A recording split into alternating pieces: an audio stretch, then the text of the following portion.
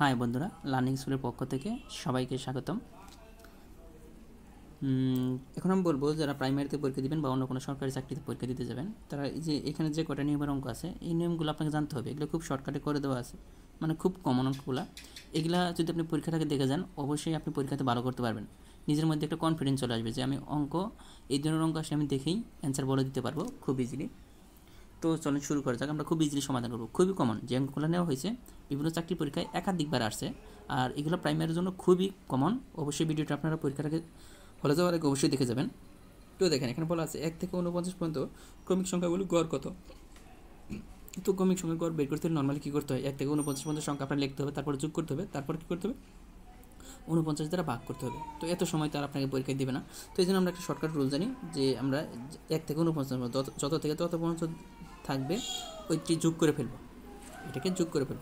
যত থেকে, তাহলে এক থেকে শুরু হয়েছে উনপঞ্চাশ পর্যন্ত। তাহলে এক যোগ উনপঞ্চাশ নিচে ভাগ করে দেবো টু দ্বারা। তো দেখেন, এখানে ফিফটি ভাগ টু মানে হচ্ছে টোয়েন্টি ফাইভ তো হ্যাঁ আমাদের অ্যান্সার কিন্তু চলে আসছে কত? টোয়েন্টি ফাইভ যদি আমাদের অপশনে টোয়েন্টি ফাইভ নেই কিন্তু আমাদের অ্যান্সার হবে কত? টোয়েন্টি ফাইভ তো নিয়ম এইটাই হয়তো আমাদের এখানে একটু ভুল হয়েছে বলছিল হয়তো বা এখানে আমাদের বলা ছিল এরকম, এক থেকে উনষাট পর্যন্ত সংখ্যাগুলোর যোগফল কত? তো তাহলে আমরা কী করতাম? এক যোগ উনষাট নিচে কত? টু। তাহলে দেখেন, ষাট ভাগ টু সমান কত? ত্রিশ। তাহলে আমাদের অপশন কিন্তু এটা ছিল। হয়তো আমি লেখার সময় বলে লিখতে পারি, কিন্তু নিয়ম এটা। আপনাকে এই নিয়মটা আপনার জানা থাকতে হবে, এই নিয়মে যদি করেন আপনি গড় বের করতে পারবেন যে কোনো পর পর সংখ্যা দেওয়া থাকলে। আপনি কিন্তু একটা মনে রাখবে, এক থেকে উনপাঁচ পঞ্চাশ পর্যন্ত, কোনো সংখ্যা কিন্তু বাদ না। এক, দুই, তিন, চার, পাঁচ, ছয়, এরকম উনপঞ্চাশ পর্যন্ত আমরা সংখ্যাগুলো যোগ করি, তাহলে আমরা এই নিয়মে করতে পারব। পরের যে অঙ্কটা আছে, দেখেন, একটি সমবাহু ত্রিভুজের এক বাহুর দৈর্ঘ্য দশ সেন্টিমিটার হলে ক্ষেত্রফল কত? সমবাহু ত্রিভুজের বাহুর দৈর্ঘ্যকে দশ, এ দ্বারা প্রকাশ করে, তাহলে এই কর। আমরা জানি সমবাহু ত্রিভুজের ক্ষেত্রফলের সূত্র হইতেছে root over three by four square. দেখেন, এখানে এর মানটা দেওয়া আছে, তাহলে root over three by four. এর মান দেওয়া আছে কত? টেন তাহলে টেন কি স্কোয়ার করে দেন। তাহলে হইতেছে কত? Root over three by four into কত? একশো। কাটাকাটি যদি করেন, দেখেন রুট ওভার থ্রি ইন্টু পঁচিশ। ঠিক আছে? তাহলে আপনি দেখেন twenty five root over three আমাদের এর অ্যান্সার কিন্তু চলে আসছে। Twenty five root over three খুবই কমন একটা অঙ্ক। অনেকবার আসছে এটা চাকরিতে এরপর বলা আছে, দেখেন, সুষম বহুভুজের একটি অন্তঃকোণের পরিমাণ একশো বিশ ডিগ্রি ফলে বহুভুজটির বাহুর সংখ্যা কত? এটা আপনারা হয়তো মনে রাখছেন অন্য কোনো সূত্র দিয়ে বা এইভাবে। আমি আজকে খুব ইজিলি আপনাদের এটা শিখিয়ে দেবো যে আর কখনো যাতে ভুল না হয়, এই ধরনের অঙ্ক আসলে। দেখেন, অন্তঃকোণের পরিমাণ, সুষম বহুভুজের অন্তঃকোণ, সুষম বহুভুজের ক্ষেত্রে হিসাব করবেন, সুষম বহুভুজের অন্তঃকোণ প্লাস বহিকোণ এই দুইটা সমষ্টি হচ্ছে একশো আশি ডিগ্রি। সুষম বহুভুজের অন্তঃকোণ প্লাস বহিকোণ বহিকোণের একটা, একটি অন্তঃকোণ প্লাস বহিকোণ বহিকোণের সমষ্টি হচ্ছে একশো আশি ডিগ্রি। এখন আসেন, আমাদের কিন্তু অন্তঃকোণের পরিমাণটা দেওয়া আছে একশো আশি। তাহলে বহিকোণের পরিমাণ কত হবে দেখেন? বহিকোণের পরিমাণ হবে তাহলে একশো আশি মাইনাস একশো বিশ। তাহলে হবে কত ডিগ্রি? Sixty degree. এই যে আমাদের বহিকোণের পরিমাণ বের করতে হবে, বাহুর সংখ্যা বের করতে হলে সবসময় বহিকোণের পরিমাণ দিয়ে বের করে নিতে হবে। বহিকোণের যে পরিমাণ থাকবে, এটা দ্বারা যদি আপনি থ্রি হান্ড্রেড সিক্সটিকে ভাগ করে দেন থ্রি হান্ড্রেড সিক্সটিকে ভাগ করে দেন, তাহলে আপনি পাবেন কত? ছয় ছয়, ছত্রিশ মানে ছয়। তার মানে বাহুর সংখ্যা কত? ছয়টি। কেন এমন হচ্ছে? আপনাকে এটা বলি আমি যে, দেখেন, একটা একটা সাইডের পরিমাণ যদি একশো আশি ডিগ্রি হয় মানে অন্তকোণ প্লাস বহিকোণ মানে এই সাইড তাহলে এই সাইডে কিন্তু একশো আশি ডিগ্রি তিনশো আশিকে আপনার ষাট দ্বারা ভাগ করা লাগতেছে। এইটা একটা কথা। আর আপনার যদি বহিকোণের পরিমাণ দেওয়া থাকে ডিরেক্ট যদি দেওয়া থাকতো যে বহিকোণের পরিমাণ ষাট ডিগ্রি তাহলে আমরা জাস্ট তিনশো ষাটকে কয় দ্বারা, বহিকোণের পরিমাণ দ্বারা ভাগ করতে হবে। সবসময় মনে করতে হবে যে বহুভুজের বাহুর সংখ্যা বের করতে হলে বহিকোণের পরিমাণ দ্বারা ভাগ করতে হবে।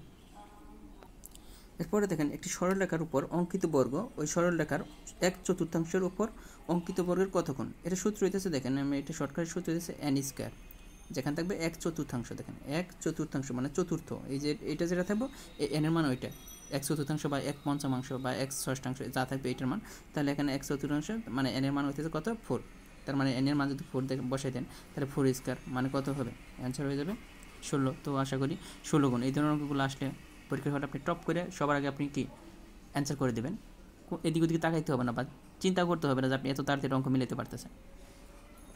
পরে যে অঙ্কটা দেখেন, একটি সংখ্যার অর্ধেকের সাথে ছয় যোগ করলে যে উত্তর পাওয়া যায়, সংখ্যাটির দ্বিগুণ থেকে একুশ বিয়োগ করলে একই উত্তর পাওয়া যায় বা একই ফল পাওয়া যায়। কয়েকভাবে করা যায় অঙ্কটা।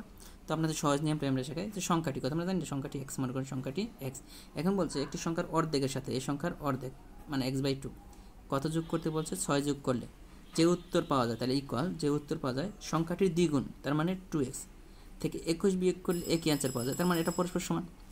একই সংখ্যার অর্ধেকের সাথে ছয় যোগ করলে যে উত্তর পাওয়া যায়, সংখ্যাটির দ্বিগুণ থেকে একুশ বিয়োগ করলে একই উত্তর পাওয়া যায়, তার মানে দুইটা পরস্পর সমান। এখন এটা সমাধান করলে আমাদের অ্যান্সারটা বেরিয়ে আসবে। দেখেন এখানে টু হবে এক্স ছয় দ্বিগুণে কত? বারো।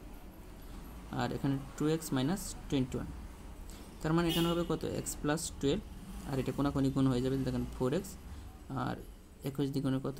বিয়াল্লিশ। তো এখন দেখেন যে এটা যদি এই সাইডে নিয়ে আসেন, okay x minus four x আর এটা যদি এই সাইডে নেন, বারো হ্যাঁ বারো মাইনাস ফর্টি টু মানে আলটিমেট আপনার কী হচ্ছে? দেখেন মাইনাস থ্রি এক্স আর এদিকে হবে কত? মাইনাস ফিফটি ফোর তার মানে মাইনাস মাইনাস বাদ দিতে পারেন x equal fifty four by three আমরা জানি তিন আঠারো, চুয়ান্ন। তো এটা কিন্তু আঠারো বের হয়ে গেছে। তো অপশন চেক করেও করা যায় বাট আপনারা জেনারেল নিয়মটাই মনে রাখেন অপশন চেক করেছে, এটাই বেটার হবে। আর একটা কথা বলব যে দেখেন, আমি কিন্তু আপনাদের বোঝানোর জন্য চেষ্টা করি। হয়তো বা অনেক সময় দেখা যায় মিস্টেক হতেই পারে ক্যালকুলেশন বা এটা আসলে কোনো মিস্টেক না। কারণ আমি লাইভ করি, আমি ভিডিও এডিটিং করার টাইম আমার নাই। যেখানে একটু ভুল হয়েছে, ওটা কেটে আরেকবার ভিডিও বানাই। তো ক্যালকুলেশন যদি ভুল হয় এটা নিয়ে আপনাদের মাথা ঘামানোর কোনো ই নেই। ক্যালকুলেশন ভুল হতেই পারে। তো আপনি যখন একটা না এতগুলো অঙ্ক করবেন, আপনার হয়তো একটু ক্যালকুলেশন একটু ভুল হতে পারে। সো অবশ্যই এটা ক্ষমা সুন্দর দৃষ্টিতে দেখবেন। এখন দেখাবো, দেখেন যে এই ধরনের অঙ্ক আসলে অনেকে ভাবেন যে একশো পাওয়ার ফোর ওয়ান বা একশো পাওয়ার ফোর হলে তো সমাধান করা একটু কঠিন। দেখেন এখানে মাইনাস দেওয়া আছে। এখানে যদি মাইনাস থাকে আর এখানে যদি প্লাস থাকে, তাহলে কী করবে? প্লাস থাকলে সিস্টেম একটা আর মাইনাস থাকলে এখানে প্লাস এটার জন্য আমি এসে দেখাবো। তো যে মানটা দেওয়া থাকবে, আপনার মেইন কাজ হলে যদি মাইনাস থাকে, এখানে যদি প্লাস থাকেন যদি একশো বার ফোর ওয়ান বাই যে মানটা দেওয়া থাকবে, এই মানটাকে আপনি স্কোয়ার করবেন। যদি মাইনাস থাকে যে মান দেওয়া থাকব মাইনাস থাকলে এই মানটা স্কোয়ার করে এটার সাথে টু যোগ করেন। দেখেন, এখানে দুইবার স্কোয়ার আছে, দেখেন এক্স এক্সকে একবার স্কোয়ার করে স্কোয়ার তারপর স্কোয়ার করে একশো পার ফোর এই জন্য আমরা কী করলাম, যে মানটা দেওয়া ছিল ওইটাকে স্কোয়ার করে প্লাস টু এরপর আপনি একটা ব্রেকেট দিয়ে দেন, এটার উপর আরেকটা স্কোয়ার করে দেবেন। মনে রাখতেছেন? যেভাবে বলতেছি। তারপরে শেষে মাইনাস টু সকল ক্ষেত্রে। দেখেন আমি কী করলাম? যে মানটা দেওয়া থাকব, ওই মানটা স্কোয়ার করবেন, তার সাথে প্লাস টু এটা সকল ক্ষেত্রে। এটা কিন্তু মানের টু না এই টু সবসময় থাকবে। শুধু এটা চেঞ্জ হবে, যে মানটা দেওয়া থাকবে, ওই মানটা স্কোয়ার করব, তার সাথে প্লাস টু এটা করার পরে সম্পূর্ণটা স্কোয়ার করব, তারপরে মাইনাস টু এই মাইনাস টু কোনটা? এটা সূত্রের টু এই টুটা সূত্রের, এই টুটা সূত্রের। শুধু পার্থক্য হবে এটা যেমন এখানে যদি x minus one by x one three দেওয়া থাকতো তাহলে আমরা কী লিখতাম? মান স্কোয়ার প্লাস টু এটা স্কোয়ার মাইনাস টু দেখেন, এটা, তাহলে এটা সমাধান করলে আপনার কী আসবে? দেখেন four four plus two whole square minus কত? টু এটি সমাধান করতেছি। তার হইতেছে, দেখেন, এখানে যে আমাদের হইতেছে কত? দেখেন, ছয় ছয় ছয়, ছত্রিশ মাইনাস টু সমান চৌত্রিশ। তো আপনি যদি এইভাবে যদি অঙ্কটা মানে জানেন বা পরীক্ষা হলে যদি মিলাইতে পারেন, দেখেন, এই অঙ্ক যদি নর্মালি সূত্র আকার করতে চান, আপনার অনেক টাইম লাগবে। আপনি কল্পনা করতে পারবেন না, তিন থেকে চার মিনিট সময় লাগবে, তারপরে মিলবে কিনা সন্দেহ। তো আমি যেভাবে শিখিয়ে দিলাম, এখানে মাইনাস থাকলে আর এখানে যদি প্লাস থাকে, আর দুইটা যদি প্লাস থাকে suppose x plus one by x সমান থ্রি হলে আমাদের বলতেছে x to the power four plus one by x to the power four সমানের কত? দেখেন এটা কীভাবে করবেন? এখানে প্লাস থাকলে আমরা কিছুই না, আপনি জাস্ট এখানে দেখেন, আমরা কী করছিলাম? প্রথমে মাইনাস থাকাতে যে মান দিছিল, এটার সাথে প্লাস করছিলাম জাস্ট এখানে মাইনাস হয়ে যাবে এখানে। কী হবে? মানে যে মান আছে, এটা থ্রি মাইনাস টু তারপর বাকি সব সেম এটা head square minus two change হতেছে কোথায়? এখানে। দেখেন, এটা যদি আপনি করেন, তাহলে কত হবে দেখেন? তিতিরকা নয় minus two whole square minus two তো দেখেন, নয় মানে সাত সাত সাত, উনপঞ্চাশ মাইনাস টু সমান কত? সাতচল্লিশ। তো অবশ্যই আপনার প্লাসেরটা এবং মাইনাসেরটা দুইটাই শিখিয়ে দিলাম। পরীক্ষা হলে এই ধরনের অঙ্ক আসে, আপনাকে এভাবে মিলিয়ে ফেলবেন। কোনো টেনশন করার দরকার নেই। পরের যে অঙ্কটা আছে দেখেন যে x plus one by x one root over three x cube plus one by x cube কত? সূত্র ছাড়াই করা যায়। এখানে এই ধরনের করার সিস্টেম হচ্ছে যে মানটা দেওয়া থাকবে, এই মানটা কিউব করবেন। মাইনাস থ্রি ইন্টু প্রদত্ত মান। যে মানটা, এটা শেষ। যে মানটা দেওয়া থাকবে, এটা কিপ করবেন। মাইনাস থ্রি ইন্টু কি? প্রদত্ত মান। তাহলে এটা কত হবে দেখেন? এটা যদি করেন, এখানে কী আছে? রুট ওভার থ্রি কয়বার আছে দেখেন? এখানে তিনবার আছে রুট ওভার থ্রি কয়বার আছে? তিনবার। আমরা দুইটা রুট ওভার থ্রি মিলে একটা থ্রি হয়। তাহলে থ্রি রুট ওভার থ্রি তাহলে এখানে পাইতেছি আমরা কত? Three root over three minus three root over three সমান কত? জিরো এটার অ্যান্সার এখন আসেন যে এই ধরনের অঙ্কটা আপনারা এইভাবে করতে পারেন, দুইটা প্লাস আছে। তো আশা করি বুঝতে পারছেন। এরপর আমরা আরও অঙ্ক দেখব। পরে যে অঙ্কটা আছে, দেখেন যে একটি সংখ্যা ছয়শো পঞ্চাশ থেকে যত বড়, এত থেকে তত ছোট। সংখ্যাটি কত? এই ধরনের অঙ্ক আসলে জাস্ট আপনি সংখ্যা দুইটা যোগ করবেন। বাঘ টু শেষ অঙ্ক। যা আনসার আসবে, দেখেন এখানে কত আসে? Zero seven.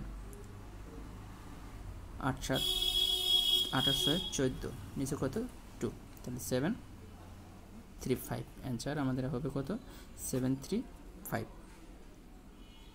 তো এই ছিল আমাদের আজকের মতো যে অঙ্কগুলা। তো আপনাদের জন্য আসলে খুব চেষ্টা করছি খুব ইজিভাবে বোঝানোর জন্য। তারপরেও যদি কোনো সমস্যা হয়, আপনি আমাকে নক করতে পারেন। আমাদের গ্রুপ আছে গ্রুপে জয়েন করতে পারেন। বা যদি মনে হয় যে না ভিডিও ভালো লাগে নাই, এটাও জানাতে পারেন কমেন্ট করে যে, ভাই, এইখানে আপনার প্রবলেম আছে, আপনি এটা, আমি এটা মানে শুধরানোর চেষ্টা করব যদি ভুল হয়ে থাকে।